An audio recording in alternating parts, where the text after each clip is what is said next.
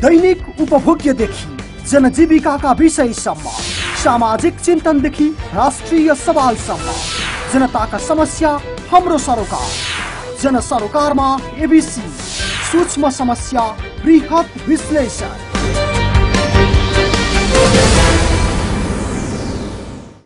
तर पनि कुरा मिल्न सकिरहेको छैन। आखिर के भइरहेको छ? आज हामी यसै सम्बन्धमा छलफल गर्छौँ स्टुडियोमा हुनुहुन्छ नेकपा एमालेका नेता सांसद कर्णलाल थापा त्यसै गरी सर्वहारा पार्टीका सभाध्यक्ष लक्ष्मणलाल कौड र नेपाली काङ्ग्रेसका नेता सांसद रामहरि खतिवडा कार्यक्रममा तिनैजनाको स्वागत छ। धन्यवाद। थापाजी तपाईँबाटै सुरु गरौँ।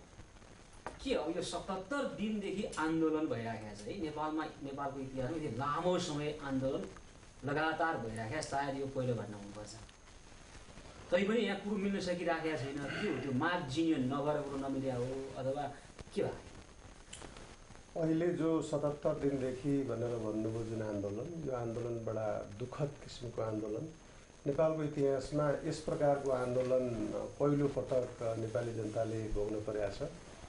हामीले निकै लामो राजनीतिक सङ्घर्ष नेपालमा चल्यो र अहिले नेपालको राजनीतिक सङ्घर्षका उपलब्धिका रूपमा हामीले लोकतान्त्रिक सङ्घीय लोकतान्त्रिक गणतन्त्र स्थापना गरेका छौँ। त्यसलाई संस्थागत गर्ने गरी संविधान पनि हामीले जारी गरेका छौँ। हामीले नेपाल राष्ट्रलाई अब आफ्नै बलबुतामा आफ्नै चिन्तन आफ्नै चिन्तन प्रणालीमा र हाम्रो आवश्यकताले नेपाल चलाउने गरी जारी गरिएको संविधान नेपालमा जारी भयो भनेर नाकाबन्दी छ। नेपालीहरू नै नेपालको राजनीतिक पार्टीकै राजनीतिक पार्टीहरू जो तराईमा काम गर्नुहुन्छ तराई मधेसमा उहाँहरू नाकामा बसिरहनु भएको छ। यस प्रकारको दुःखद आन्दोलन हामीले भोग्नु परेका थिएन। अब माग के छन् भन्ने प्रकारको सन्दर्भमा म मागमा जान्छु अँ, होइन। म- म- म माग- दुःखको मागमा जान चाहन्न। म अलिकति कुरा कताबाट निश्चित भइराखेको छ क्या यसको सोर्स के भन्दा? यो अहिले राज्य सत्ताले जे गरिराखेको छ अथवा सरकारले जे गरिराखेको छ त्यो कारण। भन्ने तर्क छ नि त होइन? कारण सरकार त यसमा हुँदै हुने नि। कारण सरकारले के गर्यो भन्ने कारणले त यो अहिलेको आन्दोलन भएकै हुने नि। संविधान संविधान मुलुकका जनता किन आन्दोलनरत छन् भन्ने कुरो बुझ्नु पर्दैन? बुझ्न त बुझ्नुपर्छ त्यो बुझ्दाखेरि चाहिँ त्यो आन्दोलन कसरी उठ्यो त्यसको पृष्ठभूमि के हो ध्येय उद्देश्य के हो कस्ता राजनीतिक म पार्टी त्यो आन्दोलन गर्ने सोध्दा एउटा मलाई भन्न दिइहाल्नुहोस्। यस प्रकारको आन्दोलन यो नेपालमा कुनै उपलब्धि हासिल गर्नका निम्ति अधिकार प्राप्तिका निम्ति भइरहेको छैन। अधिकार? प्राप्ति भइसक्यो। संवैधानिक रूपमा ग्यारेन्टी गरिसक्यौँ यो नेपाल राष्ट्रलाई सिँगै नेपाल। राष्ट्रलाई झुकाउने नेपाल राष्ट्रलाई अगाडि बढ्न नदिने आफ्ना बलबुतामा आफ्ना खुट्टामा उभिएर राष्ट्रलाई अगाडि बढ्न नदिनका निम्ति यो अनावश्यक बोझ बोझिलो र यो अराजनीतिक प्रकृतिको यो आन्दोलन भइरहेको छ यो दुःखद हो। लक्ष्मणलालजी किन खालको अराजनीतिक दुःखद यस्तो खालको आन्दोलनमा तपाईँहरू पछिल्लो सतहत्तर दिनदेखि हुनुहुन्छ यही सोच हो आफू माथि राजनीतिक अरू सबै अर- अराजनीतिक व्यक्ति भए। यो सोचले नै द्वन्द्वको सृजना गरेका छ किनभने आज सतहत्तर दिन भन्नुहुन्छ भने त्यति मात्रै आन्दोलन होइन। जब सोह्र बुधे सहमति हो कुनै न कुनै रूपको आन्दोलन चलि नै राखेर र त्यो आन्दोलन अधिकार प्राप्तिको अलग हो चाहे हामी संविधान सभा छोड्यौँ बाहिर गयौँ त्यो सम्पूर्ण कुरा के हो भने अधिकारको लागि नै गएका हौँ। र अधिकार प्राप्तिको लागि यो आन्दोलन अधिकार पाइसक्नु भएको छ तैपनि आन्दोलनमा हुनुहुन्छ भनेर सत्ता पक्षका एकजना जल्दो बल्दो युवा सांसद भनिरहनु भएको छ यहाँ बसेर? बिल्कुल बिल्कुल। उहाँ उहाँलाई नै म भन्दैछु यो सतहत्तर दिनको आन्दोलन सम्भव नभएको कुरो यही सोचले हो।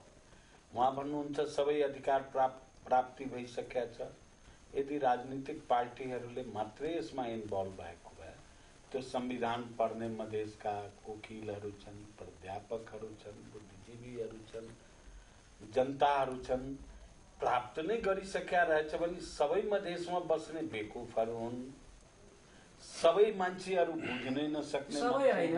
तपाईँहरूले बेवकुफी बना गरिरहनु भएको छ बेवकुफी बनाइरहनु भएको छ अरूलाई मूर्ख बनाइरहनु भएको छ मधेसी जनतालाई। भन्ने तर्क नै आउन थाल्यो होइन ठिकै छ मधेसका जनता यस्तो हो जसलाई बेकुफ बनाउन सकिन्छ। त्यो बनाएर आइयो दुई सौ पचास वर्षदेखि। अहिले त्यसलाई हामीले सतर्क जनताहरू अब अधिकार प्राप्त गर भन्दाखेरि त्यो अधिकारको लागि तपाईँको अहिले यत्रो आन्दोलन केवल दिनको आन्दोलन होइन समग्र मधेसको आन्दोलन हो। समग्र जनताको आन्दोलन। कारण के त भन्दाखेरि स्पष्ट एजेन्डा अथवा माग पुरा नभएको माग त्यस्तो केही छैन। खासै भन्ने कुरा गर्नुभयो नि खण्डजीले। होइन माग छैन भन्ने कुरा गर्नुहुन्छ अनि माग मैले गिनाउन सुरु गरेँ भने समय लाग्छ। म सानो कुरामा के भन्छु भने संवाद समिति थियो त्यहाँ हामीले दर्ज गरेका छौँ। आफ्नो माग। हामीले मसौदा समिति छ त्यहाँ दर्ज गरेका छौँ माग विभिन्न अवस्थामा आफ्नो माग दर्ज गरेका छौँ हामी। त्यो मागलाई माग नगर्ने मान्ने हामीले तिनवटा कुरा मात्रै।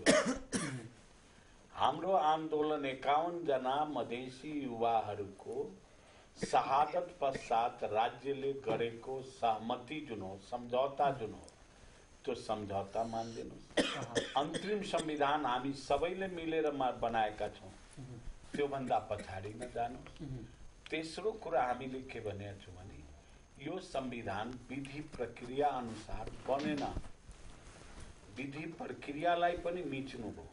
खेल खेल्दा खेल्दै बिचमा आएर नियम नै परिवर्तन त्यसको लागि नियम परिवर्तन भयो नि म्याच त ओभर भइसक्यो होइन। अब म्याच सकिसकेर बेला नियममा किन कुरा गर्नु? तपाईँले भन्नुभयो तिनटै म्याच यो त बढी साध्य भन्दा नि साधन जस्ता देखिए नि त मागहरू त।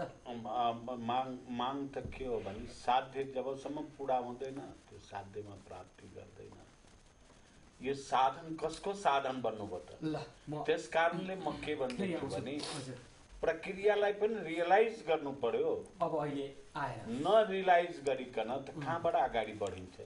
त्यो रियलाइज भएपछि त सारा माग देखिन्छ सम्पूर्ण कुरो देखिन्छ ल, र म सम्भव आउँछु। पनि हुन्छ रमेशजी पछिल्लो सतहत्तर दिनदेखिको आन्दोलनले अर्थतन्त्रकै कुरा गर्ने हो भने पाँच सात खर्बै लगभग होइन? पैँतिस दिनदेखिको छत्तिस दिनदेखिको अघोषित नाकाबन्दीले गर्दा डेढ दुई खर्ब अर्को क्षति होइन? भूकम्पको क्षति सात खर्ब जति।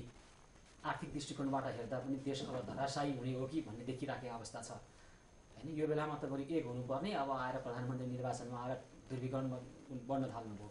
यतिखेर त हिजो संविधान निर्माण गर्दा एक ठाउँमा रहेका राजनीतिक दलहरूले जे भन्नुभयो भने एक ठाउँमा रहेर हामी छिटोभन्दा छिटो संविधान संशोधन गरेर मधेसले उठाएको मागलाई सम्बोधन गर्छु भने हो। होइन कुर्सीको खेलमा लागेर तपाईँहरू ध्रुवीकरण गरिरहनु भएको छ। के गरे भन्नुहोस् त? वास्तवमा नेपाली जनताका लागि हामीले संविधान दिए पछाडि ज जसले संविधान दिउँ त्यो पोलिटिकल पार्टीहरू अहिले छुट्नु हुँदैन थियो। किन छुट्यो नेपाली काङ्ग्रेस एमाले माओवादी त्यसमा विशेष गरी अझ म त भन्छु देशलाई अप्ठ्यारो परेको बेला आदरणीय लक्ष्मणलाल कर्णदायहरू पनि छुट्नु हुँदैन थियो। त्योभन्दा बाहेक संसदमा प्रतिनिधित्व गर्ने भन्दा पनि अझ बाहिरका पोलिटिकल पार्टीहरू पनि जो संविधान सभा भाग नलिएको वैद्य र विप्लव जस्तो साथीहरू हुनुहुन्थ्यो उहाँहरू पनि लाई पनि ल्याएर अब तपाईँसँग तपाईँ क्वेसन सोध्दै हुनुहुन्छ म उत्तर दिँदैछु। म भन्दैछु अब भन्दैछु अब सुन्नुहोस्? त्यही भएर हामी चाहन्थ्यौँ लक्ष्मणलाल कर्णदेखि उपेन्द्र यादवदेखि महन्त ठाकुरसम्म हामी मिलेर मिलेर मुलुक निर्माण गरौँ यता वारिपट्टि बस्ने पारिपट्टि गएर ढुङ्गा हान्ने काम बन्द गरौँ एउटा नेपालीले एउटा एउटा? नेपालीले अर्को नेपालीलाई जसले ढुङ्गा हाने पनि चाहे आन्दोलनकारीले भन्नुहोस् चाहे पुलिसले। गर्दा पनि म- तपाईँलाई दिँदैछु दुई दिन होइन एक दिन हामीले स्थगित पनि गरौँ संविधान जारी गर्ने बेलामा त्यसपछि पनि हामीले अहिलेको योभन्दा अगाडिको सरकारले जुन सरकारमा नेकपा एमाले प्रमुख सेयर होल्डरको रूपमा रहेको थियो होल्डरको रूपमा रहेको थियो। त्यो सहितको सरकारले हामीले संविधान संशोधनको प्रस्ताव पनि राख्यौँ। हामीले संविधान जारी गरेको यो दुई हजार वर्षका लागि होइन। संविधान संशोधन हुन्छ। हामी नेपालीका मागहरू के के छन् ती सबै मागहरू यही संविधान मार्फत संशोधन गरेर पनि पुरा गर्न तयार छौँ? होइन प्रस्ताव दर्ता भएको थियो। अब संविधानमा हामीले हामीले संविधान जारी गरिसकेपछि प्रधानमन्त्रीको इलेक्सनमा लाग्यौँ। आज उपराष्ट्रपतिको इलेक्सन सकियो राष्ट्रपतिको इलेक्सनतिर लाग्यौँ। हामी सबै सहमतिका साथ जानु पर्थ्यो भद्र सहमति तोडियो नेपाली काङ्ग्रेसका सभापति सुशील कोइरालाको नेतृत्वमै तोडियो भनेर चर्चा आयो। उहाँले एउटा मिस्टेक गर्नुभयो। त्योभन्दा महा मिस्टेक अहिलेका प्रधानमन्त्री केपी ओलीले राष्ट्रपतिको चुनावमा गर्नुभयो। काङ्ग्रेसले भद्र सहमति तोडेको हो भने हामीले त सभामुख र उपसभामुखमा त तपाईँको उम्मेदवार दिएका थियौँ नि। हामीले एउटा वातावरण बनाएका थियौँ नि। कसैको सिग्नल नेपाल? सिङ्गलको राजनीति हामी तपाईँलाई फेरि पनि भन्छु म अथवा हामी सिङ्गलको राजनीति गर्ने हुनु। हामी। नेपाली जनतालाई केन्द्रबिन्दु पारेर मात्रै राजनीति गर्न चाहन्छौँ। हामीलाई नेपाली जनताभन्दा ठुलो कोही छैन। चाहे त्यो मधेसमा बस्ने होस्। चाहे पाहाडमा बस्ने होस् चाहे हिमालमा बस्ने होस्? हामी सबै नेपालीको सबै प्रकारका मागहरूलाई संविधान देशभित्रैबाट संविधानभित्रबाट सम्बोधन गर्न तयार छौँ। त्यसका लागि हामी लक्ष्मणलाल कर्ण लगायत सम्पूर्ण मधेसका राष्ट्रवादी जनताहरूलाई फेरि पनि अनुरोध गर्न चाहन्छौँ मुलुक रहेन भने मधेस रहँदैन त्यही त यो भने देश। सबैले सत्ता पक्ष विपक्षको कुरा सुन्नुहोस्। हामीले सत्ता पक्षमा को विपक्षमा को होइन नेसनको बारेमा सत्ता र विपक्ष हुँदैन सबै नेपाली एक। हुनुपर्दछ सबै नेपाली राष्ट्रको बारेमा आउँछु। यसमा सत्ता। पक्ष र प्रतिपक्ष छैन। नेपाली राजनीतिको आम चरित्र भनेको सत्तामा गएपछि आँखा देख्न छोड्ने कान सुन्न छोड्ने हुन्छ नि? जिब्रोले स्वाद चाख्न छोड्ने यो तातो चिसो थाहा पाउन छोड्ने छालाले है त्यो हुने रहेछ नि है। हिजो काङ्ग्रेसलाई त्यो भएको थियो त्योभन्दा अगाडि ए माओवादीलाई त्यो भएको थियो अहिले एमालेलाई त्यो भइराखेको छ। प्रतिपक्षको जनताको कुरै सुन्न नचाहे आन्दोलन भइराखेको छ। यहाँ सत्तहत्तर दिनदेखि यो कुनै आन्दोलनै होइन भनिदिने यो कहाँबाट आउँछ यस्तो तर्क यो कर्णजी अहिले चलाइरहेको आन्दोलन औचित्यपूर्ण छैन भन्नलाई मलाई कुनै पनि अधक छैन। म सत्ता भएर भने होइन म नेपाली नागरिक भएर भन्दैछु। नेपाली नागरिकको प्रतिनिधिका हिसाबले भन्दैछु। जहाँसम्म यो संविधान हामीले निर्माण गरेका छौँ यो संविधान विश्वकै उत्कृष्ट संविधान छ। विधिका हिसाबले यसभित्रका प्रावधानका हिसाबले प्रक्रिया मिचेर संविधान प्रक्रिया काहीँ। पनि मिचिएको छैन। लगाई लगाई संविधान बनाउनु भयो तपाईँहरूले अनि यो चाहिँ एकदमै राम्रो हो भनेर नेपाली जनताले होइन राम्रै काम? पनि कहिले कहिले मान्छेले विरोध गर्छन् विरोध गरेपछि राज्यको एउटा नेचर हुन्छ राज्यले नियन्त्रण पनि गर्छ राज्यको होइन, राज्य। त्यही हो मैले भने होइन। राज्य भनेको राज्यको एउटा चरित्र हुन्छ। राज्यले सबै कुरा यत्तिकै सहेर बस्दैन। लोकतान्त्रिक चरित्रको लोकतान्त्रिक चरित्रको राज्य हो यो। लोकतान्त्रिक चरित्रको राज्यलाई अहिले तपाईँ सुन्नुहोस् न। जायज। जायज र नाजायज माग लोकतन्त्रमा कसरी राखिन्छ? तपाईँले देखिरहनु भएको छ नि त आम नेपाली जनताले करोडौँ मान्छेले देखाएको छन् नि। नेपालमा संविधान जारी भयो भनेर त्यो संविधान कस्तो छ यसमा चर्चा गर्ने अहिले समय छैन व्यापक प्रशस्त मात्रामा गर्न सकिन्छ दफा दफामा गर्न सकिन्छ धारा धारामा गर्न सकिन्छ हामी गरौँला। तर हामीले संविधान निर्माण गऱ्यौँ अहिलेको माग के छ त भन्दाखेरि केही मान्छेहरू नाकामा गएर बसेका छन् अनि भारतले? नाकाबन्दी छ न तपाईँ भने तपाईँ। त ड्याङ मारेको छैन त्यो कतिपय मान्छेहरू मर्ने कुरालाई हामीले मर्ने मार्ने कुरा राम्रो उचित हो हामीले भनिराखेका छैन। मार्न हुँदैन मर्न हुँदैन मान्छे। तर मर्ने गरिकन काम पनि त गर्न हुँदैन नि बेठिक प्रकारका मुद्दाहरू अगाडि सारेर। अहिलेका मुद्दा के छ भने अहिले? म भनिदिन्छु नि त जनसङ्ख्याको आधार र भूगोलको आधारमा निर्वाचन क्षेत्र निर्धारण गर्ने अहिलेको संविधान हेर्नु न समानुपातिक भन्ने शब्द तपाईँले कपलक्क खाइदिनु भयो हटाइदिनु भयो समानुपातिक भन्ने? सामाजिक न्यायको हक त्यो सबै कुरामा मैले तपाईँलाई के भन्छु भने तपाईँले कुनै एउटा छलफलको आयोजना गर्नु संविधान अगाडि राखौँ संविधानका धारा धारामा छलफल गरौँला। त्यो। गरौँला त्यो गर्न सकिन्छ। तर। अहिले हामी लोकतन्त्र भनेको अहिले कस्तो किसिमको लोकतन्त्र हो भने यो माग राख्ने तरिकाहरू हुन्छ। ब्लकेट गर्नेमा इन्डियाले चाहिँ नाकाबन्दी गर्ने अनि नेपालीहरू गएर। नाकामा बस्ने पारीबाट नेपालीहरू सीमा पारीबाट भारतको सिमानामा गएर नेपालीहरूलाई ढुङ्गामुढा गरेको संसारले देखाएको छ होइन त्यस्तो पनि आन्दोलन त्यस्तो। बाध्यता हुन्छ त्यस्तो पनि बाध्यता हुन्छ कुन बाध्यता। यहाँ म तपाईँलाई भन्न चाहन्छु यहाँ बाध्यता केही पनि छैन। अहिले उहाँहरूले शान्तिपूर्ण ढङ्गले लाखौँ मान्छे जम्मा गर्नुहोस् न भाषण गर्नुहोस् न लक्ष्मणराव कर्णजी गएर यी संविधानका प्रावधानहरू बेठेको छन् भन्नु उहाँले भाषण गर्न सक्नुहुन्छ। तर बन्द गर्न मिल्दैन। तर सधैँभरि गरिराख्नुहोस् न त। लोकतन्त्र भने चाहिँ तपाईँ आत्तिने कुरा होइन हामी यहाँ मान्छे सयौँ वर्ष त मान्छेले सङ्घर्ष गरे हुन्छन् प्राप्ति हुँदैन सही कुराका निम्ति अनि आत्तिएर अनि त्यो त्यो सिमानामा गएर अनि ब्लकेट गर्ने। करोडौँ मान्छेलाई नोक्सान पुर्याउने अरबौँको नोक्सान दिनहुँ गर्ने। अनि राष्ट्रको कुरा गर्ने अधिकारको कुरा गर्ने। नो म्यान्स ल्यान्ड भनेको के हो? राम्रोसँग थाहा होला आन्दोलनरत पक्षलाई। नो म्यान्स ल्यान्ड होइन? त्यहाँ गएर बसेर उतापट्टिबाट यता ढुङ्गा हान्ने। त्यस्तो हुन्छ न्यायपूर्ण आन्दोलन? बिल्कुल बिल्कुल आज राम्रो प्रश्न तपाईँले गर्नुभयो। नो मेन्स ल्यान्ड होइन नेपालको भूमिमा आएर बस्या हौँ। नेपालले भनिदियोस् हामी बसेको रक्सौल नाकादेखिहरू यो हाम्रो भूमि होइन भनिदियोस् भने अन् अन्य कुरा। नेपाल र भारतको नाकाको बिचमा मै- बसे होइन मैले तपाईँलाई भन्दैछु एकचोटि गएर हेर्नुहोस् कहाँ बसेका छु भने हेर्नुहोस् त्यहाँ बोर्डर छ त्यहाँ फ्ल्यास लाइट छ सम्पूर्ण कुराले तपाईँलाई देखाइदिन्छ नेपाल कहाँ हो र भारत कहाँ भारतीय भूमिबाट नेपालपट्टि ढुङ्गामुढा गरे? भन्दैछु तपाईँलाई मैले मैले बिर्स्या होइन मैले बुझ्दैछु जब तपाईँले गोली प्रहार गर्नुहुन्छ भने त्यहाँ भाग्नलाई पासपोर्ट देखाउनु पर्दैन भिसा देखाउनु पर्दैन। ठाउँ यस्तो छ। तपाईँले गोली हान्ने र मैले बच्ने प्रयास गर्दाखेरि पनि तकलिफ हुने? किन भागे त? कुरो त्यति मात्रै थियो। नेपाल। सुन्नुहोस् न कुरो त्यति मात्रै होइन। कुरो त्यही हो। नेपालको भूमिमा बसिया छ आन्दोलन गरेका छ तपाईँले गोली त्यो ठाउँमा प्रहार गर्नुहुन्छ भने भागेर जाने कहाँ? फेरि आउने मलाई मारिदेऊ। किनभने हामीले हेऱ्यौँ क्रुवेलता हेऱ्यौँ। देशको संविधान र कानुनलाई नाङ्गेको हेऱ्यौँ। कहीँ अब मलाई बताइदिनुहोस् त कानुनमा काठमाडौँमा जुन दिन भइराख्यो त्यो आन्दोलन कमल थापाको आन्दोलन। फुहारा प्रयोग गर्नुभयो। हामीलाई सिधा न फुहारा प्रयोग गरेका छ न रब्बरको गोली प्रहार गरेका छ सिधै गोली चलाएर त्यो पनि छातीमा टाउकोमा घाँटीमा पिठ्युमा गोली चलाएर मारेका छ। नेपाली काङ्ग्रेसको नेतृत्वको सरकारले त्यसो गर्यो होइन तर तपाईँहरू त्यही सरकारको निरन्तरता दिनको लागि मत हाल्न आउनुभयो नि त। दुईटा कुरा तपाईँले भन्नुभयो।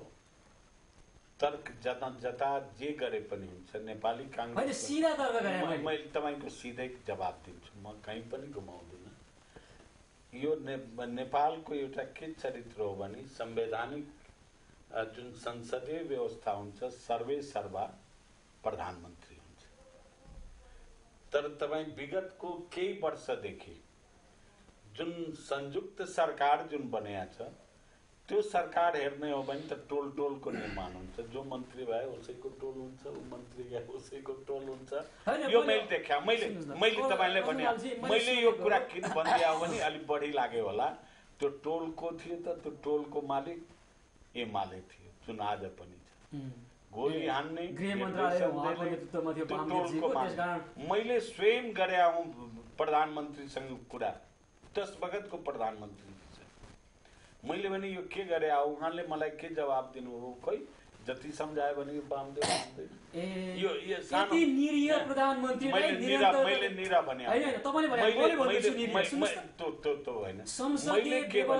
प्रधानमन्त्री सर्वे सर्वा हुन्छ। आफ्नो एउटा क्याबिनेट मिनिस्टरले गरेको गलत काम रोक्न नसक्ने प्रधानमन्त्रीलाई निरन्तरता दिन त्यहाँको जनता मर्दै गर्दा तपाईँहरू। म तपाईँलाई भन्दैछु। मेरो प्रश्नको जवाब चाहिँ मात्रै भनिदिँदा कति उपयुक्त हुन्थ्यो होला म- तपाईँलाई के भने भने पहिले ढुङ्गाको कुरा भने अब काङ्ग्रेसलाई किन भोट दियो भन्ने कुरा जुन छ म दिन्छु जवाब तपाईँलाई। जुन हा- हामीले यो संसदलाई बहिष्कार गरेका थियौँ र हामीले के भन्यो भने यो देश अब कुबाटोमा गयो। के कुबाटोमा गयो भने अतिवादी वामपन्थीहरू र अति दक्षिणपन्थीहरूको एउटा गठबन्धन भयो यो देशको लागि राम्रो गर्दैन। बडो प्रष्टबाट हामीले विज्ञप्तिमा लेखिकन ल्यान्डसम्म धकेलेर उता पठाउने यता गोली हान्ने सरकारको निरन्तरता चाहिएको थियो त्यसो। तपाईँलाई त्यो लाग्यो होला। तपाईँ तपाईँलाई भन्दैछु हामी उता किन गयौँ भने कमसे कम यो जुन आयो अनमेल कुरा एक्सट्रिम उत्तरपन्थी र एक्सट्रिम दक्षिणपन्थीको जुन मेल भयो यो मेलले देशलाई नोक्सान गर्न थाल्यो त्यस कारणले। आगै थिएन हुँदै थियो। कि नोक्सान गर्न थाले त अब अबदेखि नै कुरो हो। म त हाल्दा त त्यतिकै के हुन्छ के न, हुन्छ तपाईँ अलिकति अलिकति न। के म? घबरा छैन करणजी मलाई सपाट जवाब चाहियो म- त। तपाईँ वकिल हुनुहुन्छ है? वकिलको वकिल- काम घुमाउने म- हो। म- म अब वकिल- हामीलाई दर्शकलाई घुमाउने प्रयास गरिरहनु भएको छ। कृपया त्यसो नगरौँ आज। म वकालत छोडे आज बाह्र वर्ष भयो। तर चरित्र त गएको छैन नि तपाईँको त्यो अभिव्यक्तिको त्यो म के कहिले? भन्दैछु भने यो परिस्थितिमा हामी हराउन पुग्यो हामी त्यो ठाउँमा सुन्नुहोस् न। हाम्रो काम त तपाईँले समातेर यहाँ बोलाइदिनु भयो। कुरा हो। तर मेरो। कुरा सुनिदिनुहोस् न। सुन्नुहोस् पाण्डेजी। ये गठबन्धनलाई जुन कि अप्राकृतिक गठबन्धन हो उत्तरपन्थी र दक्षिणपन्थीको जुन मेल हो यसलाई परास्त गर्नको लागि बडो प्रष्ट रूपबाट हामीले भन् भन्न आएका आएका थियौँ। तर एउटा निमावलीमा व्यवस्था के छ भने कोही पनि तटस्थ बस्न पाउँदैन। राजीनामा गरेर हिँड्नु भयो होइन संविधान सभाबाट? यदि जागिर बचाउन आएको भए त म तपाईँको त फेरि- हालेन भने त जागिर बच्दैन थियो। अनि यो। सांसदको जागिर बचाउनको लागि म- जनतालाई धोका दिएर उहाँ जनता मर्दैछ। फर्स्ट फर्स्ट क्वेसनकै जवाब सुनिदिनुहोस् अनि नेक्स्ट क्वेसन गर्नु होला। यो जनता दिग्भ्रमित हुँदैन। त्यस कारणले हामीले जुन अप्राकृतिक गठबन्धन भयो त्यसलाई परास्त गर्न आयौँ। हामी त्यो तटस्थ बन बस्न सक्दैनौँ। नियमले नै बाध्य गर्दाखेरि अर्को पक्षलाई त भोट दिन बाध्य भयो म यो सेकेन्ड क्वेसन हो तपाईँको। यसलाई जवाब दिन्छु म। राजीनामा दिने मेरो दायित्व हो मेरो कर्तव्य हो। जब मान्छे मार्न थाले म संसदबाट निस्केर गएँ। मेरो राजीनामा स्वीकृत भएको छैन आजसम्म बचाउन आएको होइन। अहिलेसम्म बचिराखेका छ त्यो भन्नुहोस्। तपाईँले उल्टो कुरा नगर? बचिराखे अब किन हो भन्ने कुरा त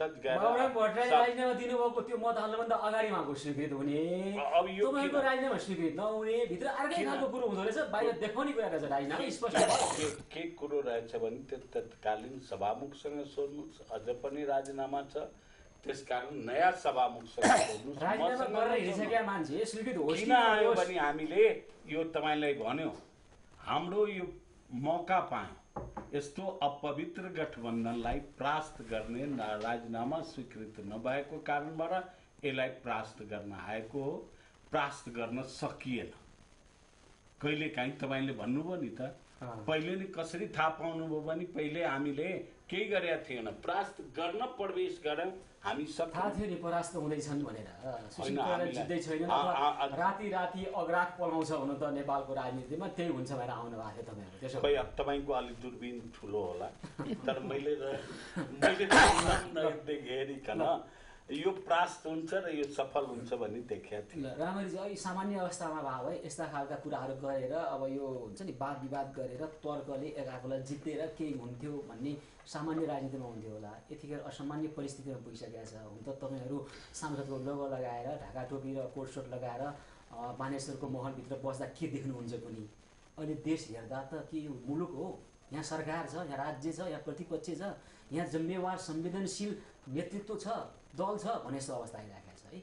जनताको स्थिति यति कष्टकर हुँदै गइराखेको छ औषधि नपाएर मर्ने अवस्था आइसक्यो हुन त मरिराखेका हुन् सिटामल नपाएर होइन? अब अहिले केन्द्रमै त्यो हुने स्थिति छ। सयौँ दिनदेखि मान्छेहरू यहाँ अब भात पकाउने ग्यास छैन है?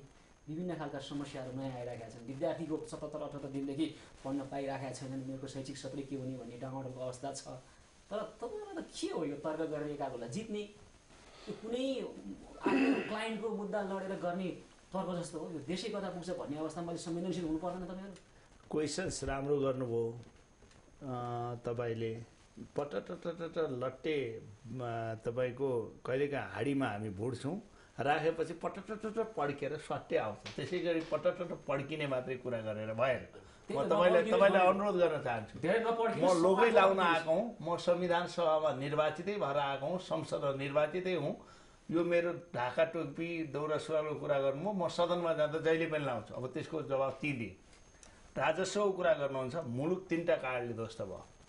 बाह्र वर्ष माओवादीको कथाकथित जनयुद्ध अथवा सशस्त्र द्वन्द्वले खरबौँ खरब ध्वस्त भयो। त्यसपछि भूकम्पले तपाईँले सात खरबको ध्वस्तको कुरा गर्नुभयो। त्योभन्दा बढी ध्वस्त भयो। अहिलेको यो जुन हामीले संविधान जारी गरेपछिको मुभमेन्ट छ तराईको मुभमेन्ट त्यसले झन् ध्वस्त भएको छ। यो बेला अघि पनि मैले मैले भने यो बेला हामी सबै एकताबद्ध भएर प्रस्तुत गर्ने हो।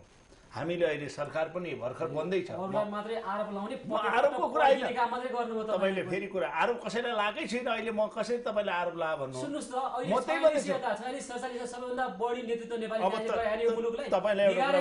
म तपाईँलाई भनौँ नेपाली काङ्ग्रेसले मात्र होइन ल छयालिस साल पछाडिको कुरा गर्नुहुन्छ गिर्जाको प्रधानमन्त्री हुँदा एमाले हामीले सँगै मन्त्रीमण्डलमा लिएर हिँड्यौँ।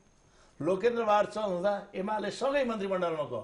शेरबहादुर देउवा हुँदा एमाले सँगै मन्त्रीमण्डलमा गयो। तपाईँलाई अनुरोध गर म भन्दैछु प्रचण्ड हुँदा एमाले सँगै मन्त्रीमण्डलमा गयो। बाबुराम हुँदा सँगै मन्त्रीमण्डलमा गयो। शेरबहादुर हुँदा सँगै मन्त्रीमण्डलमा गयो। सुशील कोइराला आउँदा सँगै मन्त्रीमण्डलमा गयो एमाले म नभए म- म भन्ने- एकदम म- समृद्ध म- म- भइसक्दो म- रहेछ। एउटा सुन्नुहोस् न सबै छन् त्यसैले एउटा पार्टीका रूपमा तपाईँ नहेर्नु सदनमा म भन्दैछु। तपाईँले जुन भन्दै हुनुहुन्थ्यो होइन त्यो होइन तपाईँले भन्नुभयो एउटा पार्टी मात्रै तपाईँ सरकारमा छ भन्नुभयो नि। सबै हामी छौँ। मुलुक निर्माण गर्ने जिम्मा पनि हामी नै हो। हामीलाई जनप्रतिनिधि भनेर विश्वास गरिसकेपछि। तर अहिले पनि हामी हेर्नुहोस् संविधान त जारी गऱ्यौँ हामीले नेपाली जनतालाई जारी गर्ने संविधान हो। हामी लक्ष्मणलाल कर्ण लगायत सबैलाई अनुरोध गर्छौँ मधेसका के के मागहरू सम्बोधन गर्नुपर्ने छ? अहिले आ समावेशीका कुरा? समानुपातिका कुरा सुन्नुहोस् न म भन्दैछु त समावेशीका कुरा समानुपातिका कुरा त्यसपछिबाट यो राज्य पुनर्संरचनाका कुराहरू आइरहेका छन्। तर हामीले त जुन दिन सरकारमै हुँदाखेरि हामीले त्यो विधेयक हामीले संसदमा लगेर संशोधन विधेयक प्रस्तुत गरिसकेका थियौँ अन्तिम समय थियो। हामीले पारित गर्न सक्यौँ न। अहिले पनि म हेर्दैछु अब संविधान सभा संसदमा परिणत भइसकेपछि अहिले एउटा सरकार बनेको छ। म यो कुरामा चाहिँ व्यक्तिगत रूपमा अरू कुरामा कतिपय कुरा डिफर गरौँला हिजोको जनआन्दोलन बनाउने जनआन्दोलन गर्ने र जनआन्दोलन दबाउनेहरू एक ठाउँमा छन् धर्म नभई नहुने हिन्दू धर्म नभई नहुने र धर्म निरपेक्ष एक ठाउँमा देखिएको छ। त्यही। एकता कायम होस् न त। एकता कायम होस् न त। हिजो जनआन्दोलनका नाउँमा दुई करोड चौबिस लाख उनासी हजार रुपियाँ बाँकी छ भनेको मान्छे आज उप प्रधानमन्त्री हुनुभएको छ। जो संहिताको सबभन्दा विरोधी हो त्यो संहिताको बारेमा वार्ता गरेर गइरहनु भएको छ। के यो समस्या समाधान होला? ए म कर्णजी तपाईँ कहाँ यहाँ के गरे होला नि यो तरिकाबाट अहिले भन्नुभयो लक्ष्मणलाल कर्णजीले पनि यो अलिकता अप्राकृतिक खालको अहिले माले मण्डली र मोसालेको एकताले केही पनि हुनेवाला छैन। यसले केही गर्न सक्दैन यो। भन्ने कुराबाट पनि कुरो आइरहेको छ। यहाँ राम्रोजी पनि त्यो राख्नुभयो। तर्क गरेर राज्य चल्दैन र देश समृद्ध हुन सक्दैन कुतर्कहरूले त झन् चल्दै चल्दैन सबभन्दा पहिले मेरो छोटो कुरा म तपाईँलाई राखौँ र अहिले नेकपा एमाले खास गरी यो सरकार?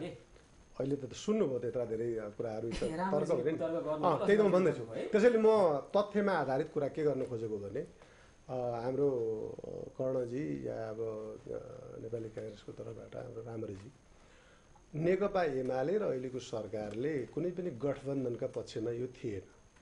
हामीले के भनेको थियौँ भने होइन गठबन्धनमा त आउनु पर्यो। हामीले त सिङ्गै नेकपा एमाले नेपाली कङ्ग्रेस ए माओवादी मधेसी दल जो संविधान जारी गर्नका निम्ति हामी जनताका प्रतिनिधिका रूपमा संविधान सभाभित्र थियौँ हामी सबैले त्यो एउटा विधि र प्रक्रिया हामीले नै तय गरेका थियौँ।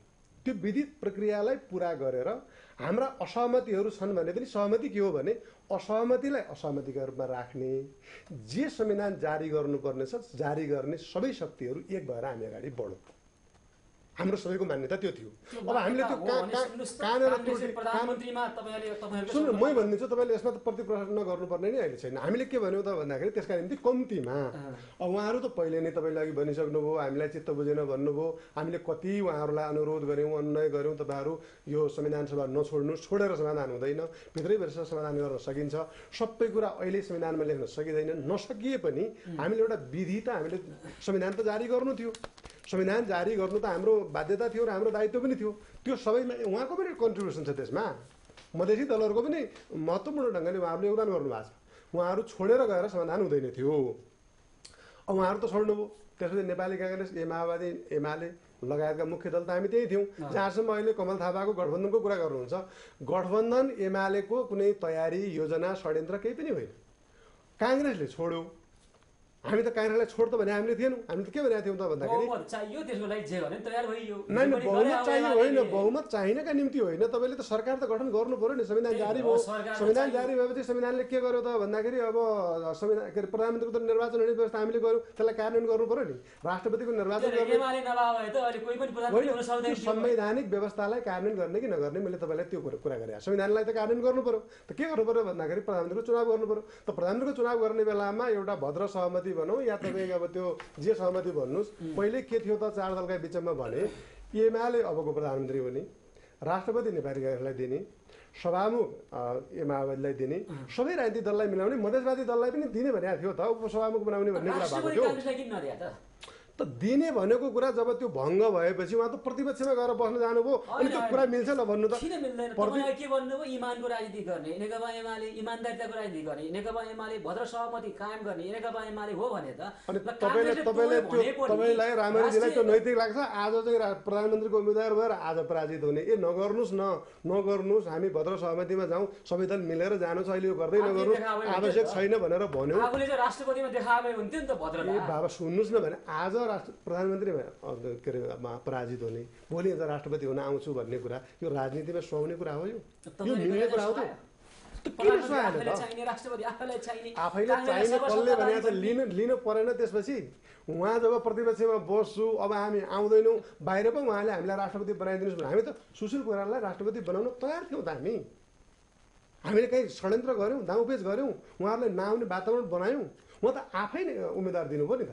नदिनुहोस् भन्यौँ अनुनय विनय गऱ्यौँ अझ कतिसम्म भने सफा कुरा स्पष्ट नेपाली जनतालाई थाहा छ। नेपाली काङ्ग्रेसभित्र राम्ररी जस्तो मान्छेहरू उहाँहरू केमा हुनुहुन्थ्यो भने यो उम्मेदवारी दिनु हुँदैन। प्रधानमन्त्रीको कुरा प्रधानमन्त्रीको कुरामा। अब त्यो के अरे उहाँको सहमहामन्त्री पूर्णबहादुर खड्काले त राजीनामै दिनुभयो। सहमहामन्त्री पदबाट। सबैले त्यहाँ धेरै ठुलो जनमत छ नेपाली काङ्ग्रेसको त आधाभन्दा बढी यो अहिले जे काम गरियो नेपालका राजनीतिक दलहरूलाई फुटाउने खेल छ र कसैको यो उद्देश्य अनुरूप भइरहेको छ। कसै भनेको? नेपाली काङ्ग्रेसभित्रैका मान्छेहरूले भन्नुभएको। नेपाली काङ्ग्रेसका केन्द्रीय सदस्यहरूले भन्नुभएको। नेपाली काङ्ग्रेसका? सांसदहरूले भन्नुभएको। कृष्ण सिटौलाले भन्नुभयो। त्यो त कति? भयो कति भयो त्यो लुकाएर लुक्नै नमिल्ने स्थिति भइसक्यो। अब त म तपाईँलाई प्रश्न के भनिदिन्छु भने नेपाल मैले अघि सुरुमै भनेको थिएँ नेपाली आफ्ना खुट्टामा उभिएर नेपाल चलाउन चाहन्छौँ हामी। हामीसँग त्यो विवेक छ हामीसँग त्यो बुद्धि छ त्यो सामर्थ्य छ त्यो योजना हामीसँग छ। त्यो सफल हुन नदिनका निम्ति सबभन्दा पहिले संविधान जारी हुन नदिने नेपालका राजनीतिक पार्टीले संविधान बनाउन सकेनन् भन्नका निम्ति कोसिस भयो। त्यसलाई हामीले असफल पार्यौँ। एकैछिन सुन्नुहोस्। त्यहाँसम्म नेपाली काङ्ग्रेस सँगै आयो। सुशील कोइरालाको असाधारण योगदान रह्यो। उहाँ झुक्नु भएन। अब कहाँनिर उहाँ झुकिदिनु भयो भन्दाखेरि अन्तिममा अब सबै संविधान जारी भएको अहिले नेपाली काङ्ग्रेसलाई कति गाह्रो छ? यहाँनिर भन्न त सजिलो छ राम्ररी एउटा तर्क गर्नु होला तर जनताका बिचमा जाँदाखेरि संविधान जारी गर्ने प्रधानमन्त्री अब यति खुम्चेर यस्तो मतलब के अरे निधार अनुहार पा कालो पारेर जानुपर्ने स्थिति हामीले खडा गर्दै अब त्यो। यो त दुःखद हो भन्दैछु म। फेरि पनि मेरो आग्रह र अनुरोध के छ भने नेपाली काङ्ग्रेस दुःख राष्ट्रपति बन्यो को प्रधानमन्त्री बन्यो भन्ने आधारमा दुःखद र सुखद हुने भएन के देशको सन्दर्भको कुरा? गर्दैछु। मुलुकको कुरा मैले भने नि अघि सुरुमा मैले भनिसकेँ नेपालमा यस प्रकारको आन्दोलन हामीले पहिलोपटक देख्दैछौँ। राष्ट्रका विरुद्धमा राष्ट्रका मान्छे गएर नाकामा बस्ने विदेशीहरूले नाकाबन्दी गरेर उसले भन्छ तपाईँहरूले नाकामा नेपालीहरू बसेका कारणले हामीले गाडी पठाउन सकेनौँ। भाग्न नपाउने भन्ने होइन। यहाँ काठमाडौँ म तपाईँलाई भन्दैछु विनम्रताका साथ आग्रह गर्न चाहन्छु काठमाडौँमा लाखौँका जुलुस निकाल्नुहोस्। किन नाका रोज्नु भएको उहाँले? वीरगन्जको त्यहाँ वर चौरी छैन? बाह्र बिघामा गरे हुँदैन? किन उहाँहरूले विराटनगरमा गरे हुँदैन? उहाँलाई यहाँ सुर्खेतमा गरे हुँदैन पोखरा गरे हुँदैन किन नाकामा जानु भएको कसले गर्नु पठायो होइन? आन्दोलन गर्ने ठाउँ छन् नि बाबा नाकामा गएर अनि नाकाबन्दीलाई ए। बाबा काठमाडौँमा गर्नुहोस् न भने भन्नाले गर्न पाइन्छ। के गरी गर्न पाइन्छ भने मैले एक लाइन भन्न दिनुहोस्। संसारभरिका जतिसुकै लोकतान्त्रिक राज्यमा पनि अर्का घरमा आगो लगाउनु पाइँदैन। सरकारी भवनमा आगो लगाउन पाइँदैन। त्यो संसारभरिको उहाँलाई चलन म तपाईँलाई। भनिदिन्छु अमेरिकामा होस् या जापानमा होस् या बेलायतमा होस् सरकारी भवनमा आगो सुन्नुहोस्, गोली हान्छ त्यहाँ पनि। नेपालमा पनि गोली हान्छ यसमा कुनै केही कुरा तपाईँ चाहिँ कुनै? कुनै एउटा सांसदले निर्वाचित भएर आएको मान्छेले संविधान जारी गर्ने कुरामा हस्ताक्षर गर्यो भनेर घरमा आगो लगाउन पाइन्छ कर्णजी तपाईँ यहाँ आए म राष्ट्रपति निर्वाचनमा चाहिँ मतदान गर्नु भएन है? किन त यसमा चाहिँ त्यो लोकतन्त्र जोगाउनु पर्ने अथवा त्यो राष्ट्रपतिले- के गर्छ? देश चलाउने कार्यकारी अधिकार पाएको प्रधानमन्त्री। राष्ट्रपति एउटा अलङ्कारिक व्यक्ति हो त्यसमा भोट दिएर प्रधानमन्त्रीले के गर्दो रहेछ हुँदो रहेछ। प्रधानमन्त्री के हुँदो रहेछ भने गोली हान्दो रहेछ। प्रधानमन्त्री के हुँदो रहेछ भने प्रधानमन्त्रीले देशलाई बजेट चलाउँछ। प्रधानमन्त्री के हुन्छ भने देशको शान्ति सुरक्षा हेर्छ। प्रधानमन्त्री को हुन्छ भने देशमा आन्दोलन भयो भने जनताको कुरा के रहेछ सुनिदिनै हुन्छ। प्रधानमन्त्री हाम्रो संविधान बमोजिम या अघिल्लो संविधान कन्ट्राडिक्सन भइरहेको छ क्या। अब अघि चाहिँ के भन्नुभयो भने सुशील कोइरालाकै नेतृत्वमा भएको सरकारले त्यो आन्दोलन दबाउने काम भयो अब यो भयो। फेरि उहाँलाई निरन्तरता दिनु लागि तपाईँ आउनुभयो है। अब तर्कले यो छोप्न यति गाह्रो भइराखेको छ कि एउटा झुटो लुकाउनलाई स्वयं झुटो बनाएपछि एक्लै आगोलाई छेक्न सक्दैन ठुलो भङ परिहाल्छ भने जस्तो तपाईँको तर्क। यो- कस्तो भने सुशीलजी म धेरै राम्रो छु सत्य बोल्छु। तिमीले बोले सबै कुरा झुटो हो भने एकै शब्दमा सारा कुरो टुङ्गिन्छ।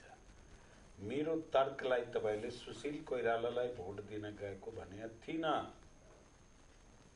म तटस्थ बस्ने ठाउँ नभएको कारणबाट एकजनालाई हराउन पुग्यो भने त अर्कालाई त जिताउनु पर्यो नि त।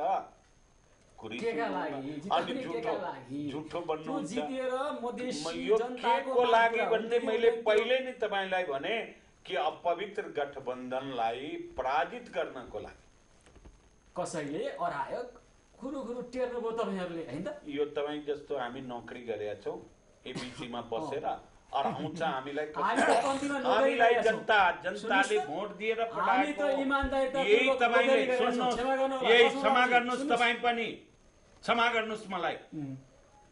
जनताबाट जितेर आएको हामी हो। अढाइदियो फलानाले खटाइदियो तपाईँलाई यो छ हिम्मत। कसले अढायो भन्नुहोस् मैले मलाई। कुनै इन्स्टान्स दिनुहोस्। कुनै आम एक्जाम्पल दिनुहोस् आम जनता। भन्नुहुन्छ। लक्ष्मण आम जनता लक्ष्मणलाल खड्नु होइन। गद्दार घोषणा गर्दै होइन? तपाईँहरूको पुतला जलिरहेछ कि? तपाईँले तपाईँले हेरे त्यति हो।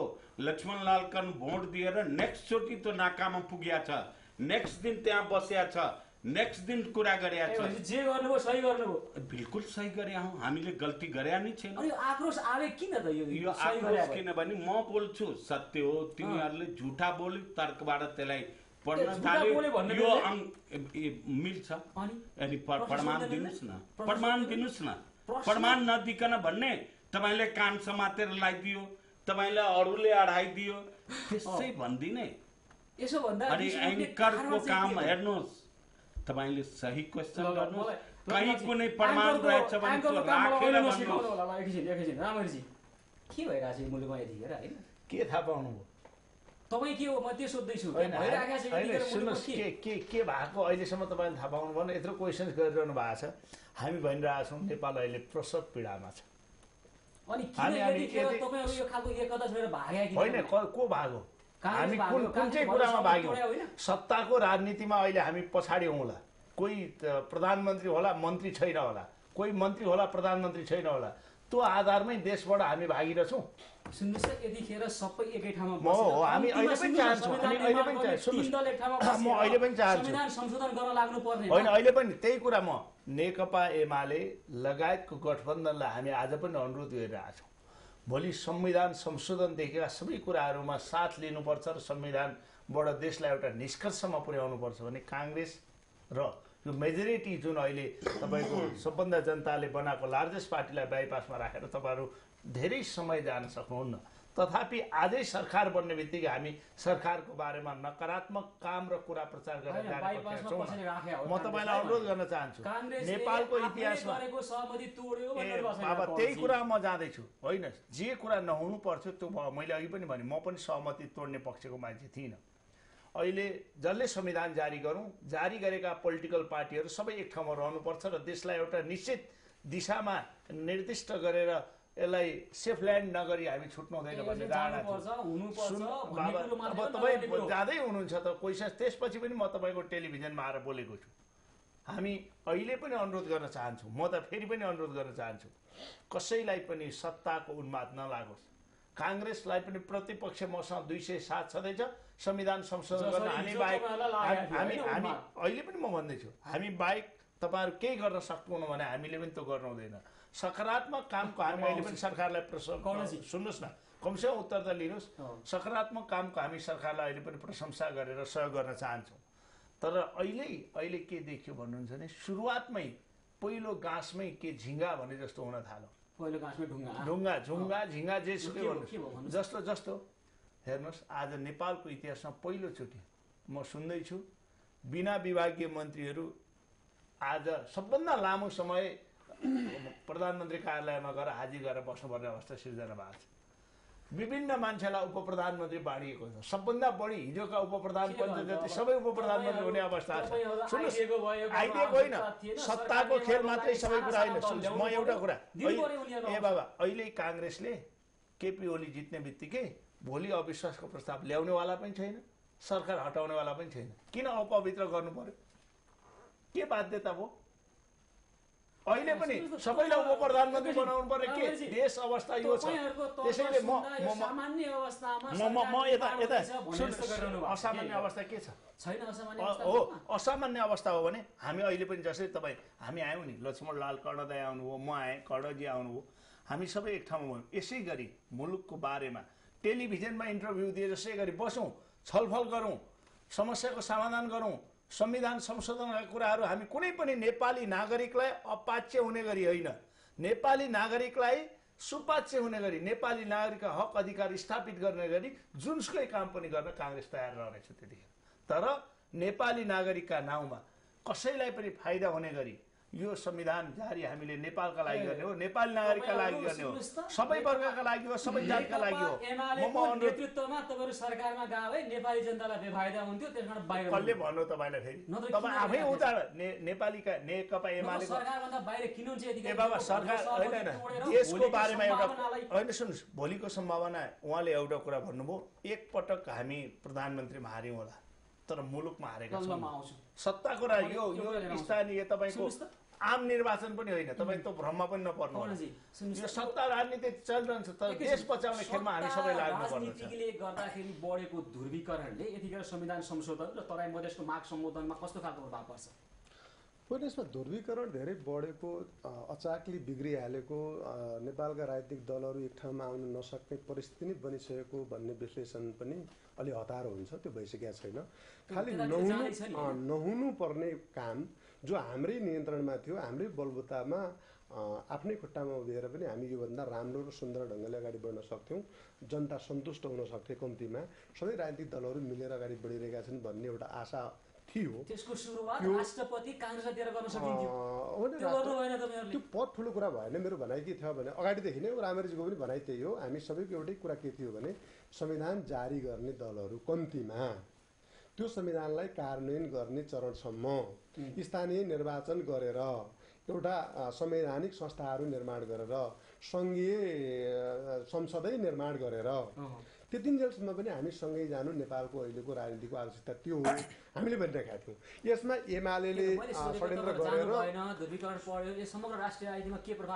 प्रभाव यसका यसका ठिक हो। अब अब कुरा के हो त भन्नुहुन्छ भने यो बिग्रिँदै गयो भने यसले राष्ट्रलाई फाइदा हुँदैन समाजलाई फाइदा हुँदैन र हामीले संविधान कार्यान्वयन गर्ने सन्दर्भमा केही शक्तिले बाह्य शक्ति पनि यसमा छन् कि? तिनीहरू केमा छन् भन्दा पहिले संविधान जारी गर्न नदिने दोस्रो संविधान जारी भएको संविधान कार्यान्वयन गर्न नदिने तेस्रो देश चल्न सक्दैन यिनीहरूबाट भन्ने फेरि पनि प्रमाणित गर्ने र दललाई सत्ताका कारणले विभाजित गर्ने खेलहरू छन्।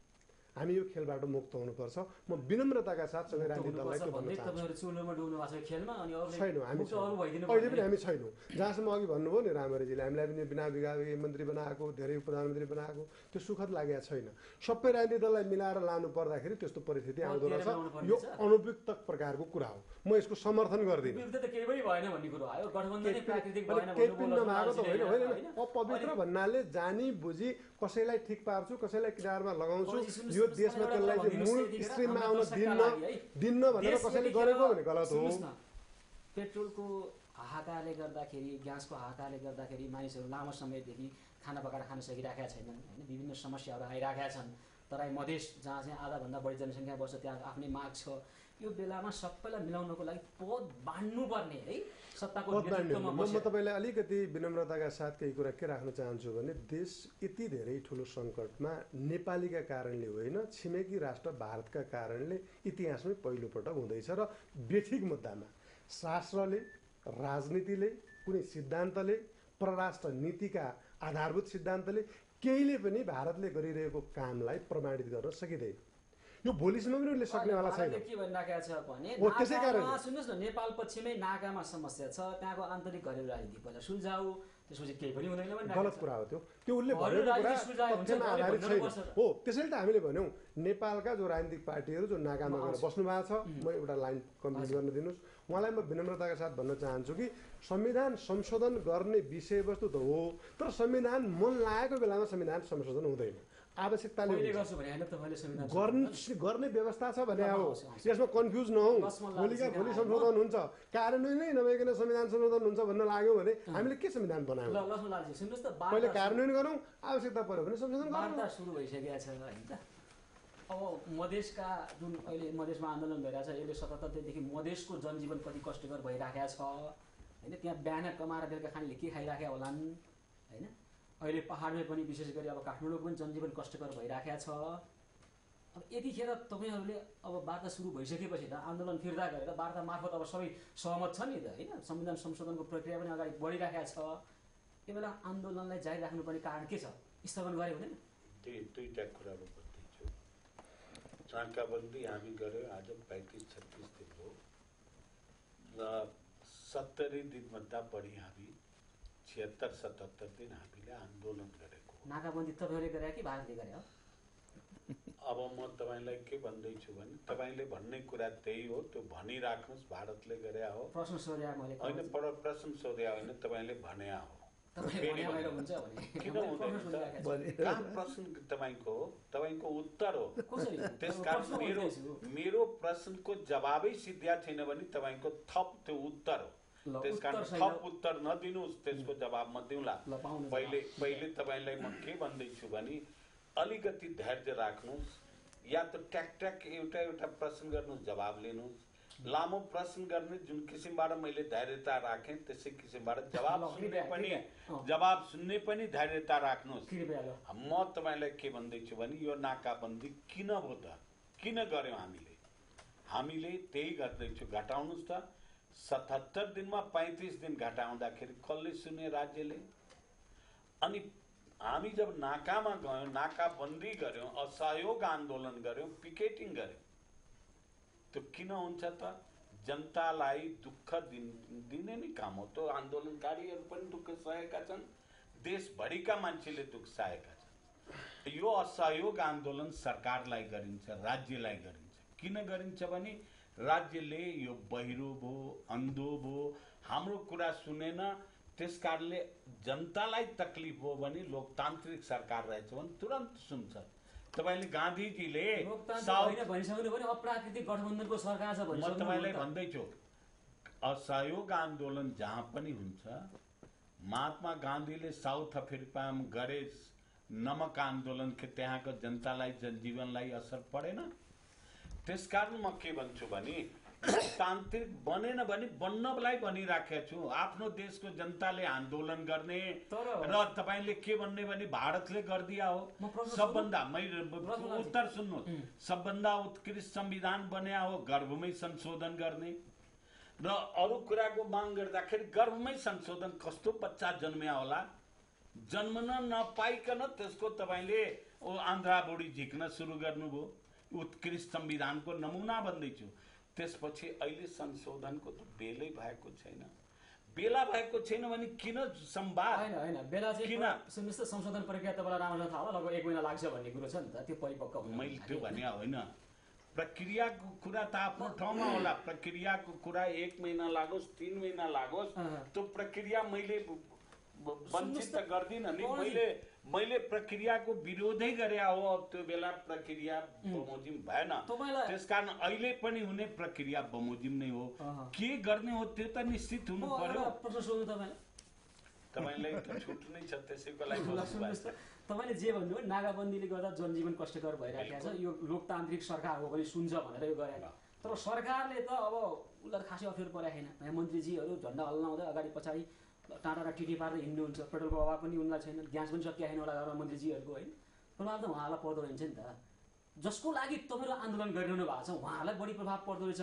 त्यो पनि सानो समय होइन क्या सतहत्तर दिन भने। अनि अलिक सोच्नु पर्दैन लोकतान्त्रिक तरिकाले आन्दोलन गर्ने चाहिँ सोच्नु पर्दैन। बिल बिल्कुल तपाईँले ठिक भन्नुभयो। अहिले प्रश्नको लागि प्रश्न गरिदिनु भयो म तपाईँलाई के भन्छु भने यो मन्त्रीलाई होइन राज्यलाई नै दुःख दिन गरे हो। मन्त्री राज्यको सञ्चालक हुन् बुझ्नु बढी प्रभाव सामान्य जनतालाई पर्यो सामान्य जनतालाई पढिराखेका छ अझ गरिब जनतालाई पढिराखेका छ गरिब जनता रोडमा बसिराखेका छन् त्यही गरिब जनता नाकामा गएर बसेका छन्। त्यो आफूले किन गरे हो भने यति दुःख मैले सहेपछि भोलि मैले अधिकार पाउँछु। त्यो रिक्सावाला पनि बसिया छ त्यो बाटोको पनि बसिया छ। ठेलावाला पनि बसिया छ। किन बसिया छ भने यो मैले दुःख सहेको अवस्थामा मैले भोलि अधिकार तपाईँहरूले जोसँग माग राखिराखे हो त्यो पक्षले कुरै नसुनेर वार्ता सहमति गर्ने नमानेर अथवा संविधान संशोधन गर्ने प्रक्रिया अगाडि नबढाएको त तपाईँको तर्फ ठिक हुन्थ्यो। तर कुरो मिल्ने अवस्थामा चाहिँ अब मिल्ने कुरो त प्र- प्रयास अगाडि बढिरहेको छ नि त वार्ता सुरु भएको छ होइन। अनि अगाडि बढिराखेको बेलामा त यसलाई स्थगन गरिदिँदा जनताले तुरुन्तै केही राहत पाउँथ्यो नि त होइन मैले भन्दैछु तपाईँलाई वार्ताको प्रक्रियामा पटक पटक योभन्दा अगाडि भएको वार्ताको टेबलमा म छु। के हुन्छ कुरो अहिलेको वार्ताको टेबलमा पनि छु। पहिलेको वार्तामा राम्रो कुरो स्टार्ट भइसकेका थियो। कहाँ सरकारको खेल आयो त्यो वार्ता टोली कहाँ गयो को कहाँ गए त्यसै समाप्त हो। अहिले वार्ता टोलीमा बस्यौँ। फर्स्टै आउँदाखेरि हामीले के भनेका छौँ भने सरकारको हाम्रो माग सम्बन्धमा के हो त? यो तिम्रो माग नजाइज हो यो तिम्रो जाइज हो यसमा जाइजमा यतिसम्म गर्न सक्छौँ केही न केही एजेन्डा लिएर बस्नुहोस् अनि ल छलफल। गरौँला नआउनु। तपाईँ। म म मेरो सुनिहाल्नु अन्तिम त गर्न दिनुहोस् न आधी मिनटमा पनि अन्तिम गर्न दिनुहोस् पाण्डेजी मेरो कुरा। मेरो कुरोलाई फेरि छोडेर नयाँ। प्रश्नमा आउनु होला त्यस कारणले सरकारको जुन पनि बनेको छ वार्ता यो वार्ता टोली गम्भीर देखिएन सरकार गम्भीर देखिएन।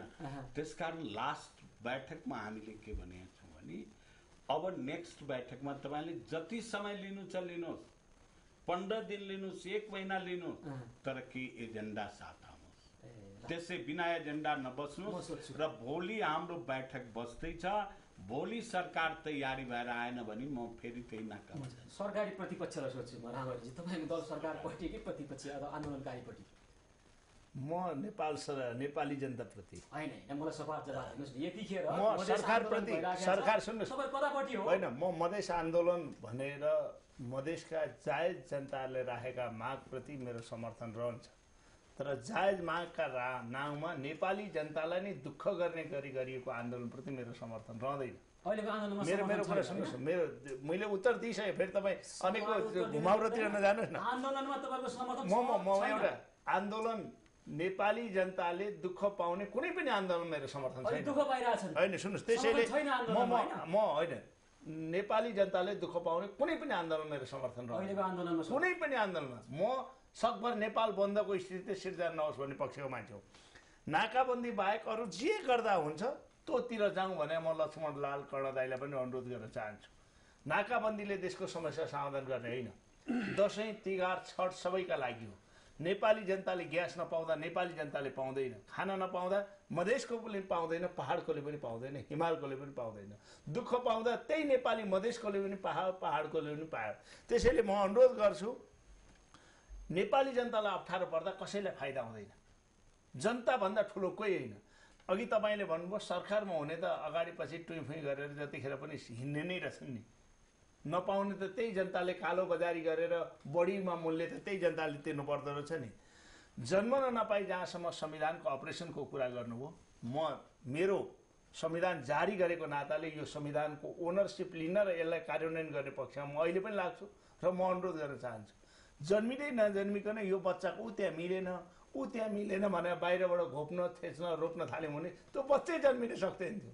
अब बच्चा जन्मियो काहीँ अपाङ्ग छ भने त्यसलाई सपाङ्ग गर्न के अपरेसन गर्नुपर्दछ? आँखा देखेको छैन भने आँखा खुलाउन के गर्नुपर्दछ? पेट दुखेको छ भने त्यसलाई के औषधि दिनुपर्छ? तर त्यो ज बच्चालाई जन्माएर हुर्काउने काम गरेर नेपालमा त्यसलाई समृद्ध बनाउन त्यो बाटोमा हामी सबै लागौँ त्यो बाटोमा मधेसको एउटा थारू पनि लागोस् हिमालको एउटा भोटे पनि लाग्न सकोस् पहाडको बाहुन पनि लागोस् तराईको एउटा मुसलमान पनि लागोस्। हामी सबै लाग्यौँ भने नेपाल निर्माण गर्न सक्छौँ। नेपाल निर्माण गर्ने जिम्मा अरूको होइन। म तपाईँले तपाईँलाई अनुरोध गर्छु यो नेपाल निर्माण गरी। गर्ने जिम्मा अरूको होइन। हामीले अरूको भर पनि पर्नु हुँदैन। र जहाँसम्म हामीले मित्र राष्ट्रहरूसँग पनि होइन काम पनि। गरौँ सुन्नुहोस् न। सुन्नुहोस् न हिजोसम्म के भएतिर म जान चाहन्न अब हामी काम पनि गरौँ म म सबैलाई भन्छु। म मधेसवादी दलहरूलाई पनि यही टेलिभिजन मार्फत अनुरोध गर्न चाहन्छु सरकारमा बस्नेलाई पनि अनुरोध गर्न चाहन्छु सरकारभन्दा बाहिरको म पनि त्यो कुरा बुझ्छु। हामी सबै मिलौँ देश निर्माण गर्ने बाटोमा जाउँ। ए बाबा सरकारमा रहँदा पनि। केही कुराहरू आएका छन्। नि अघि लक्ष्मणलाल कर्णदाईले पनि भन्नुभयो नि हामी कहिल्यै पनि नेपाली जनताले दुःख पाओस् भन्ने कुनै पनि पक्षको पक्षपाती हामी चाहिँ थिएनौँ र भोलि पनि रहँदैनौँ। म एउटा अन्तिममा अनुरोध गर्न चाहन्छु। फेरि फेरि अन्तिममा। पनि गरौँला तपाईँको। अघि नै उहाँले भने कमसेकम क्वेसन सोधेपछि जवाफ त दिनुहोस्। फेरि तपाईँ क्वेसनको क्वेसन गर्नुहुन्छ। ल त्यसो भए तपाईँ अन्तै जानुहोस् म चुप लाएर बसेँ ल ल भन्नुहोस् जनताले खाना पाइरहेको छैन होइन? भोज भत्तिर सुरु भएको छ प्रधानमन्त्रीजीको। होइन? यही हो मुलुक। लोकतान्त्रिक अझ गणतान्त्रिक। अझ के के शब्द जोड्नुहुन्छ नि तपाईँहरू यही हो यस्तो हुन्छ लोकतान्त्रिक सरकार। म कुनै त्यस्ता खुद्रे कुराहरूमा जान चाहन्न। अहिलेको सरकार। अहिलेको सरकार र नेपाल राज्य भौ नेपालको भौगोलिक अखण्डता नेपालको राष्ट्रिय अखण्डता नेपालको स्वाभिमान सार्वभौमिकताका विषयमा कसैसँग पनि जस्तो सुकै ठुलो शक्तिसँग पनि कुनै किसिमको पनि सम्झौता गर्ने पक्षमा छैन। र राज्यलाई सरकारलाई नाकाबन्दीले निहुराउन सकिन्छ झुकाउन सकिन्छ गलत मुद्दामा पनि सही गराउन सकिन्छ भन्ने भ्रम कतै मुद्दा छ भने कतै छ भने होइन कतै छ भने। देशभित्र देश बाहिर कहीँ पनि गलत मुद्दामा झुकाउन सकिन्छ भन्ने भ्रम र भ्रान्ति कसैले पालेर बसेको छ भने त्यो गलत हुन्छ। नेपाल राष्ट्रवादी भएछ नेपाल अहिले सँगै आएर? नेपाल सँगै राष्ट्र।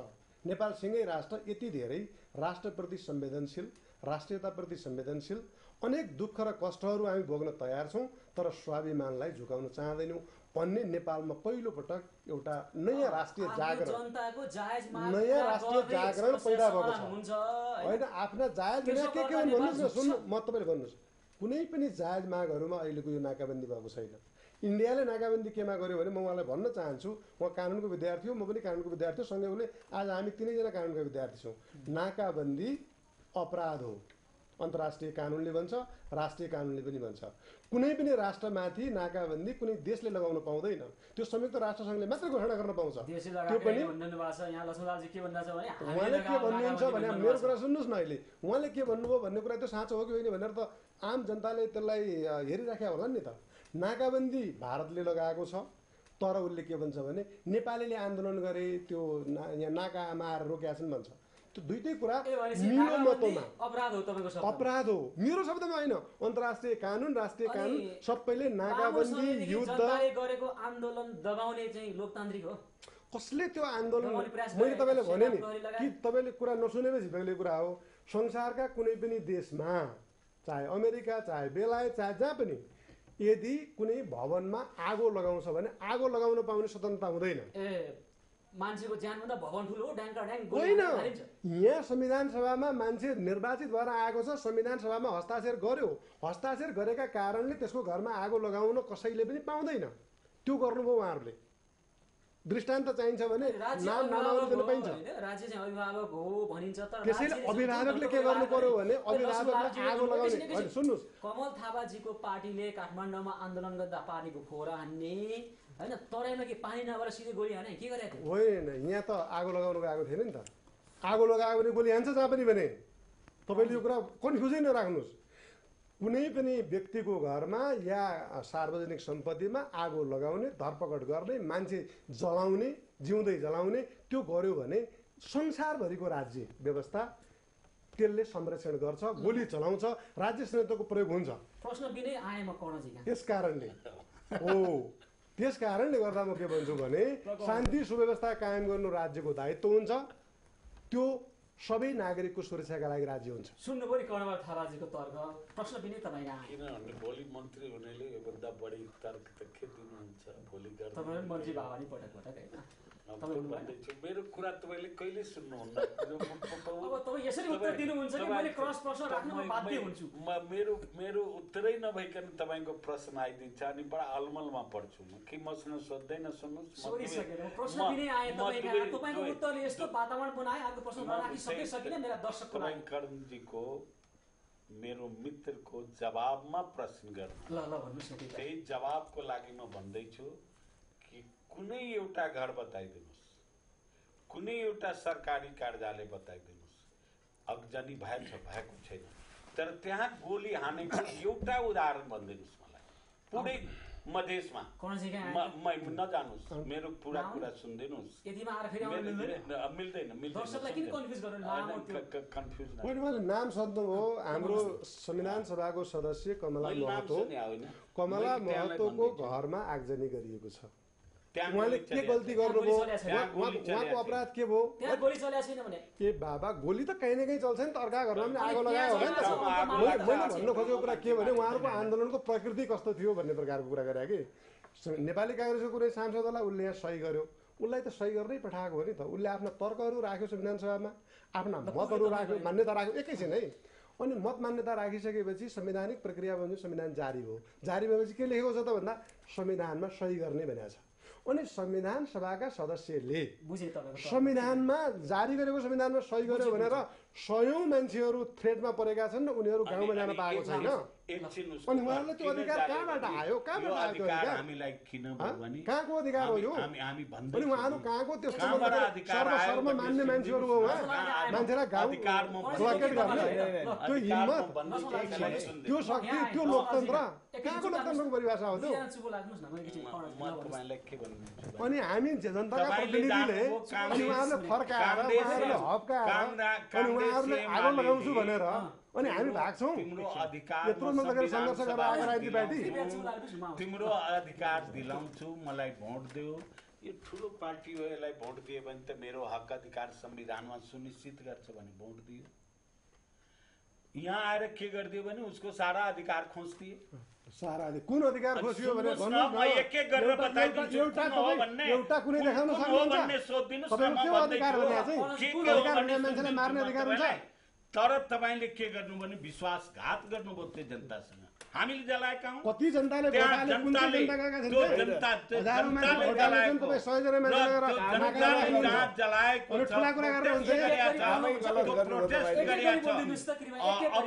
अब म तपाईँलाई के भन्छु भने मैले त अघि नै भने मसँग प्रश्न गर्नु जवाबै दिँदिनँ। तकलिफ हुन्छ। तकलिफ त। त सुन त्यही म भन्दैछु कि त्यहाँ जनताले मसँग मेरो मतको दुरुपयोग गरे। त्यस कारणले आक्रोश पोखे। म कहाँ भनेको छु उसको घर तोडेको छैन जलाएको छैन मैले भनेको छु ठिक हो। त भएन त्यो जनताको आक्रोश देखाए मैले ठिक भनेको छैन जनताले आक्रोश देखाए त्यो ठाउँमा त्यो? त्यो ठाउँमा गोली हानिएन कहीँ पनि एउटा उदाहरण छैन गोली कहाँ हान्नुभयो भने पिठोमा गोली कुन बेला लाग्छ भागिराख्या मान्छेको गोली हान्नुभयो त्यो पनि रोडमा साइकलबाट ओर्लिराखेको मान्छेहरू गोली हान्नुहुन्छ पेटमा गोली हान्ने तपाईँले कानुनमा दिया छ छातीमा गोली हान्ने कानुनले दिया छ घाँटी र टाउकोमा गोली हान्ने तपाईँलाई कानुनले दिया छ बिना लट्ठी प्रयोग गरिकन बिना त्यसको अगाडि जति प्रक्रियाहरू हुन् त्यो पुरा नगरिकन गोली चलाउनु हुँदैन। त्यसैको प्रभाव जनता आक्रोशित भयो एकातिर अधिकार खोसे अर्कोतिर गोलीले मारे भने त कहाँ जाने त जसले मलाई गरिदिया हो त्यो ठाउँमा पुग्या हो त्यो ठाउँमा आक्रोश पोख्या ल राम्ररी। मैले लाल कडको पनि कुरा सुने अनि अर्को अर्को। थापा कडको पनि कुरा सुने दुइटै कडको कुरा सुने। मेरा कडमा केही कुराहरू पर्न गए। र रियल कुरा चाहिँ के हो भने कसैले विरोध गर्दा घर जलाएर गोली हानेर विरोध गर्नुपर्छ भन्ने छैन। भाकै हो भाका कुरालाई स्वीकार्नुपर्छ। नेता म सुन्दैछु उहाँकै कुरामा पनि जान्छु म। एम्बुलेन्स तपाईँ सुन्नुहोस् न एम्बुलेन्समा हिँड्दै गरेको पुलिसलाई समातेर आगो लगाएको होइन? गलत भयो त्यो। भएको छ नि। जिउँदै हिँड्दै। गरेको पुलिसमाथि पनि आगो लागिएको छ नि। त्यो राम्रो काम पो भएन नि। आखिर अर्को मान्छे जो मुटुमा गोली लागेको छ त्यो पनि राम्रो भएन नि। त्यो पनि नेपालीकै छोरो हो नि। र अहिले पनि म भन्छु हामी अहिले एउटा बाटोमा गयौँ। ल संविधानमा के कुरा पुगेन? बसौँ न त्यही संविधान सभाभित्र नियावली बनाउनदेखि अन्तिम आवरसम्म संविधान सभामा बसेर यो संविधान जारी लोकतान्त्रिक संविधान जारी गर्नमा सबभन्दा महत्त्वपूर्ण भूमिका खेल्ने लक्ष्मण लाल खड्का सबभन्दा सबभन्दा महत्त्वपूर्ण तपाईँको भूमिका प्रदान गर्ने मान्छे? लक्ष्मणलाल कड म म तपाईँलाई भन्दै लक्ष्मणलाल हो। उहाँको यो लोकतान्त्रिक संविधान जारी गर्न अहम भूमिका म मेरो कुरा फेरि बुझ्नुभयो। बुझ्दै बुझिरहनु भएको छ क्वेसन गरिरहनु भएको न त। त्यसैले हामी पनि कुरा गर्न तयार छौँ। हामीले के के खोज्यौँ जनताका अधिकारहरू? के अठार वर्ष पुगेको नागरिकलाई हामीले भोट हाल्न नदिउँ भन्यौँ? के मधेसको मान्छे प्रधानमन्त्री हुन पाउँदैन भन्यौँ? के पहाडको मान्छे मात्रै प्रधानमन्त्री हुनुपर्छ भन्यौँ? समानुपासी समानुपातिक र समावेशी हुनु हुँदैन भने हामीले भनेका छौँ अहिले जनसङ्ख्या र भूगोललाई अझ पहिला भूगोल र जनसङ्ख्यालाई आधार मानेर निर्वाचन क्षेत्र घोषणा गरौँ भनेको थियो अहिले अझ म? म म त्यसै म जाँदैछु अहिले हामीले जनसङ्ख्यालाई पनि मानौँ भनेका छौँ। तर संसारमा कहीँ पनि जनसङ्ख्याका आधारमा मात्रै निर्वाचन क्षेत्र घोषणा भएका देशै छैन। इन्डियामा पनि एउटा निर्वाचन क्षेत्र आदरणीय लक्ष्मणलाल कडदाई हुनुहुन्छ तेत्तिस लाख पचासी हजार नौ सय बाइस भएको एउटा निर्वाचन क्षेत्र छ जहाँ एकजना मात्रै एमपी त्यहाँबाट चुनिन्छ एउटा निर्वाचन क्षेत्र छ केन्द्रबाट सुशासित जहाँ उन्चालिस हजार नौ सय तेह्र मात्रै मतदाता छन्। जनसङ्ख्या मात्र छैन त्यहाँ त्यहाँ निर्वाचन क्षेत्र प त्यहाँ निर्वाचन क्षेत्र परिवर्तन पचास वर्षमा हुने। संविधान दुई हजार सालमा संशोधन भएको छ हामी अहिले के गर्यौँ भने मधेसका जनतालाई अन्याय नै भएको छ भने के के कुरा अन्याय भएको छ? आउनुहोस् त्यसैका लागि वार्ता। गर्दैछु। सुन्नुहोस्। म म यही यही ए बाबा तपाईँलाई म यही कुरा भन्दैछु। संविधानको विरोध गर्न पाइन्छ। विरोध गर्न पाइन्छ। तर माध्यम अलिकता वे ठिक भन कि भन्ने मात्रै हाम्रो चाहना। म लक्ष्मण दाईलाई पनि त्यही भन्दछु। मेरो कुरा पनि त्यही हो। तर एउटा कुरा भयो हेर्नुहोस्। अहिले संविधान जारी गऱ्यौँ। उहाँहरूको पनि यसमा ठुलो लगानी छ। हिजो चुनावबाटै संविधान जारी गर्छु भनेर जनताका बिचमा जानुभएको। लोकतान्त्रिक संविधान जारी गर्छु भनेर जनताले भोट हालेर पठाएका हुन्। जारी गर्ने बेलामा अहिले बाहिर जानुभयो। तर जो चुनावमै गणतन्त्र नै मान्दिन राजतन्त्र चाहियो। हामी यो धर्मनिरपेक्षता नै मान्दैनौँ। हिन्दू अधिराज्य चाहियो भन्ने चाहिँ अहिले फेरि संविधान कार्यान्वयन गर्नतिर गयो। म- एउटा कुरा सुन्नु न बाबा म म। यही कुरा जान्दैछु। जसले सबभन्दा बढी संविधान र अहिलेको परिपाटीकै विरुद्धमा गयो त्यो संविधान पछाडि प्रमुख पदमा। पदमा पदमा आयो। जो संविधान जारी गर्नुपर्छ संहिता हुनुपर्छ गणतन्त्र हुनुपर्छ धर्मनिरपेक्षता हुनुपर्छ भन्ने चाहिँ फेरि उहाँ नाकाबन्दी गरेर पुग्नु। भयो त्यसैले यो मिलेन। म उहाँहरूलाई पनि अनुरोध गर्छु आउनुहोस् बसौँ छलफल गरौँ। हामी काङ्ग्रेस जनताको पहिलो जनताले विश्वास गरेको सबभन्दा लार्जेस्ट पार्टी भएको नाताले अनुरोध गर्न चाहन्छु। अहिले पनि हामी बिना संविधान संशोधन पनि हुन सक्दैन। दुई सय सात प्रतिपक्ष एक ठाउँमा भएर बसेका छौँ हामी। एउटा लार्जेस्ट पार्टी हामी लक्ष्मणलाल कर्णदेखि केपी ओलीसम्मको अहिलेको देशलाई अप्ठ्यारो पर्दाको जुन अवस्था छ त्यसलाई समायोजन गरेर लिएर जिम जाने जिम्मा हाम्रो। अहिले पनि तपाईँहरू बिचमा मलाई राखिदियो भए अहिले हात हालाल झन्डै हुन त्यो हुन सक्ने थिएन। म तपाईँलाई अनुरोध गर्छु अब पनि यो सत्ता पक्ष र मधेसवादीहरूको जुन एउटा दूरी बढ्दैछ त्यसलाई सामाजिक सही ठाउँमा ल्यान्ड गर्ने जिम्मा हाम्रो छ हामी त्यो ल्यान्ड गरेरै छोड्छौँ। यसमा केपी ओली उग्र हुनु पनि पर्दैन लक्ष्मणलाल कड उग्र हुनु पनि पर्दैन। अथवा दुइटै कडहरू हामी सबै मिलेर मुलुक बनाउने बाटोमा जाउँ त्यो बाटोमा अहिलेको सबभन्दा सर्वप्रिय बाटो हो त्योभन्दा अरू विकल्प छैन।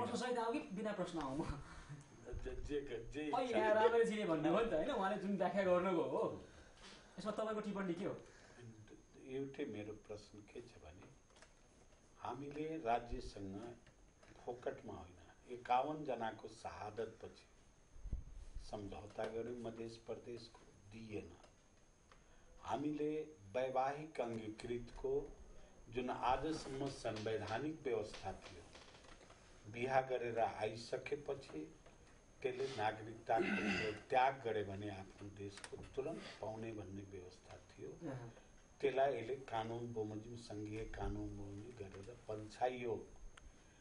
त्यसपछि हामीले वैवाहिक अङ्गीकृतलाई कुनै पनि पदमा जान नपाउने व्यवस्था गर्यो। त्यसलाई कहीँ न कहीँ सम्मान दिनुपर्छ। हाम्रो विवाह जुन घरमा डोली आउँछ त्यही घरबाट अर्थी उठ्छ भन्ने हो। त्यो जीवनभरिको लागि आएको जसको छोरा सन्तान हुन्छ उसको सम्मानलाई रोक्नु हुँदैन यो सम्झौतै गरिसक्या हो हामी विगतको अवस्थामा। त्यसलाई अङ्गीकृत नागरिकतालाई पनि कार्यकारी पसन्द पुग्ने अवसर दिनु पर्यो। अङ्गीकृत होइन वैवाहिक अङ्गीकृत भन्दैछु।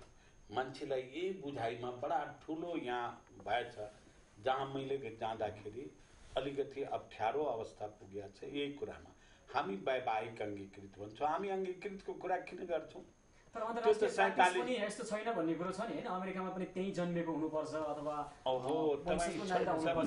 तपाईँले के गर्नुहुन्छ भने कुनै देशको उदाहरण दिनुहुन्छ भने त्यो देशलाई फलो गर्नुहोस् न त। तपाईँ जन्मसिद्धले पाउँछ भने यहाँ जन्मसिद्ध किन हटाएको हो त? अन्तिम संविधानमा वंशज र जन्मसिद्ध दुवैले जान पाउने व्यवस्था थियो भने अमेरिकाको फट्टो उदाहरण दिने र जन्मसिद्धलाई काटिदिने। यो तपाईँले समग्र कुरालाई हेर्नुहोस्। त्यसपछि हामी जुडिसियरीलाई भनेका छौँ। जुडिसियरी तपाईँको एकीकृत भयो राज्यका तिन अङ्गमध्ये यो एउटा एकीकृत भयो यसलाई पनि फेडरल स्ट्रक्चरमा विगतको अवस्थामा हाम्रो भइसकेका छ। हामीले मान्यौँ। जस्टिस एकीकृत हुन्छ स्ट्रक्चर सङ्घीयमा जानुपर्छ। यो कुरालाई अहिले मानिएन। भएको सहमति तोडियो। समावेशी समानुपातिक कुरा गर्नुहुन्छ भने समावेशी मात्रै गरे। जुन कि अन्तिम संविधानसम्म स्वीकार गरेका थियो त्यसलाई गरिएन। अन्तिम संविधानमा मधेसको जनसङ्ख्याको आधारमा उसले रिप्रेजेन्टेसन पाउँछ भन्ने कुरा गरेका थियो। अहिले तपाईँले हटाइदिनु संशोधन पनि भूगोलको आधारमा भन्ने छ भन्ने कुरो आयो। मैले भनेन त। मधेसमा चाहिँ एउटा आधारमा निर्वाचन क्षेत्र तोक्ने पहाडमा अर्को आधारमा तोक्न नमिल्ला नि त एउटै म कहाँ कहाँ भन्छु त? पहाडमा पनि जनसङ्ख्या लिउँ जहाँ सानो ठाउँ रहेछ त्यहाँ दिनुहोस्। मैले त्यसलाई इन्कार गरे हुँ। तर तपाईँले एकचोटि अन्तिम संविधानमा यत्रो लडाइँपछि स्वीकार गरेको कुराको ब्याकमा कुरो त्योभन्दा पश्चातगामी नहुनुहोस्। चौथो कुरा मैले के भनिराखेको छु भने यो समावेशी समानुपातिकको जरुरत के हो भने गरिबी र अमिरीले होइन। यो सामुदायिक जुन तपाईँको न, शोषण भेदभाव यसको लागि हामीले विगतको अवस्थामा हामीले पाँचवटा क्याटेगोरी राखेका थियौँ। त्यसैमा जाउँ त्यसैमा गरौँ। एघारवटा पच्चिसवटा गरिदिनु हो भने कसैले पाउँदैन। यस्तो र म एकदम अन्त्यमा छु। म छिटो आउँछु यहाँ नि। यी मागहरू त तपाईँले छलेर ढाँटेर होइन हिजोबाट नै अन्तरिम संविधान पछाडि फर्केर ल्या नै आन्दोलन आवश्यक रह्यो अहिले पनि छल्ने ढाँटे काम हुँदैछ भन्ने कुरो आयो नि त। त्यो कुरा नै होइन गलत कुरा हो त्यो। उहाँले भनेको कुरा चाहिँ अघि पनि आइसक्यो। अङ्गीकृत नागरिकले राज्य प्रमुख राष्ट्र प्रमुख सरकार वैवाहिक त्यो अङ्गीकृतले पाइँदैन भन्यो नि त हामीले। हामी त्यसमा भने त म यहाँ कहीँ पनि जन्म पाइँदैन। काहीँ पनि पाइँदैन त्यो। संसारभरिमा कहीँ पनि पाइँदैन। हामी पनि। हाम्रो हाम्रो व्यवस्था भनेको के हुन्छ भने म तपाईँलाई बिचमा यसमा उ नगर्नु। अहिले मैले उहाँले चाहिँ भनिसक्नुभयो सबै कुराहरू। त्यो माग उहाँको पार्टीको हो कि होइन थाहा छैन। तराईमा आन्दोलन गर्ने सबै पार्टीको साझा माग होइन। त्यही मधेसमा केन्द्रित दलहरूले पनि के भन्छन् भने वैवाहिक अङ्गीकृतलाई पनि राज्यका राज्य प्रमुख या राष्ट्र प्रमुख त्यसलाई नपाइने भन्ने छैन नि त तपाईँको त। सांसदभन्दा माथि मात्रै नपाइने भनेको छ। अरू त अनेक संवैधानिक अङ्गको सदस्य पनि हुने प्रमुख पनि हुनेदेखि लिएर सबै अरू अधिकारबाट वञ्चित गरे होइन नि। उहाँहरूले त्यही प्रचार गर्नुभएको छ अहिले त मधेसमा। त्यो रोकेको छैन। कतिसम्म रोक्ने भन्ने खालको कुरा संसारभरिका नागरिकता सम्बन्धी व्यवस्था आफआफ्नो पृष्ठभूमिका आधारमा गरिएको हुन्छ। जहाँसम्म समानुपातिकको र समावेशीको कुरा गर्दै हुनुहुन्छ प्रस्तावनामा समानुपातिक र समावेशी शब्द त्यहाँ राखिएको छ र त्यस अनुरूप उहाँहरू आन्दोलन गरिरहनु भएको छ। हामीले काहीँ पनि हटाएको छैन। जहाँ राख्नुपर्ने हो त्यहीँ राखिएको छ। जहाँ राख्नुपर्ने हो त्यहीँ राखिएको छ र तपाईँ व्यवहारमा जानुहोस् न। अहिले नेपालको प्रथम महिला राष्ट्रपति। त्यो समानुपातिक समावेशी सिद्धान्तका आधारमा होइन महिला पहिलो संविधान के अरे व्यवस्था विकास संसदको सभामुख अनि के अरे मधेसी क्षेत्रको मान्छे उपसभामुख आज उपराष्ट्रपति आज उपराष्ट्रपति को निर्वाचित हुनुभयो भन्दाखेरि पुन बहादुर पुन के का आधारमा त्यो केले कार्यान्वयन गर्यो भने के केबाट गाइडेड भयो त त्यो? चिट्ठा चिट्ठा कुरा नगर्नु न। त्यस कारण हामी केमा छौँ भने सुन्नुहोस्। अब हामी केमा छौँ भने यो राज्य विभेदकारी राज्य होइन। यो संविधानको व्यवस्था। यो राज्य असमानता र विभेदमा आधारित छैन। सबै जनतालाई अधिकार सम्पन्न बनाउने संविधान हो। यो। तराईका होइन शब्दमा होइन व्यवहारमा। तराईका विरुद्धमा बनेको। मधेसका विरुद्धमा। उहाँहरूले बुझ्नु भएको छ अरू नबुझ्नेलाई मात्रै त्यसो गर्नुहुन्छ। उहाँहरूले सबै कुरा बुझ्नु भएको छ उहाँले सबै नबुझेर होइन उहाँले। सबैले बुझिरहनु भएको छ। लक्ष्मणकर्णको बारेमा त अघि उहाँले भनिसक्नुभयो। लक्ष्मणकर्ण चाहिँ अ, यो हाम्रो मस्यौदा के अरे नियमावली मस्यौदाको संयोजक म त्यसको सदस्य होइन? उहाँले जम्मै कुरा बुझ्नु भएको छ। उहाँले नबुझेर समस्या पैदा भएको होइन। बुझिरहेका मान्छेहरूले नबुझ्ने मान्छेहरूलाई पनि नाकामा कुदाएका छन् त। उहाँहरूलाई त लाज जस्तो भइरहेको छ अहिले। नाकामा गएर गर्ने कुरा भन्ने कुरा चाहिँ। त्यस कारणले म अब एउटा मात्रै लाइन के भन्न चाहन्छु भने अहिलेको संविधान विभेदको अन्त्य गर्ने समानता कायम गर्ने समृद्ध राष्ट्र बनाउने त्यसका निम्ति बाटो खोल्ने दिशा देखाउने त्यो संविधान हो। त्यसैले यहाँ हामी नेपालका राजनीतिक पार्टी नेपाली काङ्ग्रेस नेकपा एमाले माओवादी लगायतका पार्टीहरू चाहिँ जनताका अधिकार खोज्ने अनि अरू पार्टी चाहिँ मैले लगेर जनताका अधिकार चाहिँ दिने। यस्तो हुनसक्छ। एउटा समस्या समाधान त्यस कारण मेरो एउटा शब्द भन्नु छ अब सूत्र जुन भन्नुभयो नि। उहाँहरू सबभन्दा पहिले अहिले जे गरिएको छ नाकाबन्दी लगायतका बन्द हडताल फिर्ता लिनुहोस्। टेबलमा बसौँ छलफल गरौँ। तर्क चाहिँ जीवनमा आयत्त वर्ष केही पनि हुँदैन। ल अनि कहाँबाट समाधान हुन्छ त अनि? अनि के सडकबाट समाधान हुन्छ? सडकबाट समाधान। टेबुलबाटै टेबुलबाटै समाधान हुन्छ। सबभन्दा पहिले उहाँहरूले नाका छोड्नुहोस् बन्द छोड्नुहोस् हडताल छोड्नुहोस्। म- आउनुहोस् लोकतान्त्रिक विधिमा। उहाँको कुरा मेरो पनि धेरै म कुरा गर्न चाहन्छु। लक्ष्मण दाईले एउटा कुरा भन्नुभयो। अन्तरिम संविधानमा भएका कुराहरू खोसिए भन्नुभयो। अन्तरिमै संविधानमा भएका सबै कुरा लागू गर्नुपर्छ भने नयाँ संविधान बनाउनै पर्दैन थियो केही कुरा खोसिन्छन् केही कुरा रहन्छन् तर जनताको अधिकार खोसिनु एउटा? कुरा भन्छु जनताको अधिकार नेपाली जनतालाई सार्वभौम सत्ता बनाउने अधिकार सम्पन्न गर्ने नेपाली जनतालाई कुनै पनि खालका अधिकारहरू कटौती गर्ने संविधान छैन हामी मधेस ल, आयोग। गठन गर्दैछौँ दलित। आयोग जनजाति आयोग। मुस्लिम आयोग। सम्पूर्ण आयोगहरू हामी गठन गर्दैछौँ। मधेसका कुनै पनि जनताका कुनै पनि अधिकार नदिने पक्षमा हामी छौँ। होइन अरू कुरा पनि छलफल गरौँ। न हामी यसै गरी छलफल गर्न तयार छौँ। म भन्छु अहिले पनि हामी यही मुलुकका नागरिक हौँ। मुलुकभन्दा ठुलो एउटा देश एउटा प्रदेश एउटा गाउँ एउटा जात एउटा सम्प्रदाय नठान्यौँ। आफ्नो जात धर्म धर्म र सम्प्रदायका कुराहरू गरौँ। अहिले मुलुक बचाउँ यहीँभित्र बसेर सबै समाधान गर्न सकिन्छ। यस्तो मेच्योर्ड मान्छे त्यहाँ गएर आन्दोलन गरेर ढुङ्गामुढा हान्नुहुन्छ मलाई त विश्वासै छैन। यो उहाँले गर्न लागेको पनि होइन। यो काममा उहाँ। लाग्दा पनि लाग्नुहुन्छ हेर्नुहोस् यस्तो राम्रो मान्छेले काम गर्न सक्नुहुन्छ मलाई लाग्छ। यो संविधान सभामा म हिजो अस्ति संविधान सभामा साँच्चै यो संविधान बनाउन मेच्योर पूर्वक कोही लाग्ने र तार्किक व्यक्तित्व थियो लक्ष्मणलाल खडा नै हुनुहुन्थ्यो। उहाँ जस्तो व्यक्तित्व अब त्यहाँ गएर केही दिनमा समस्या समाधान गरेको सूत्र लिएर नेपाल आउनु हुनेछ र हामीलाई यो नाकाबन्दीबाट मुक्त गराउनु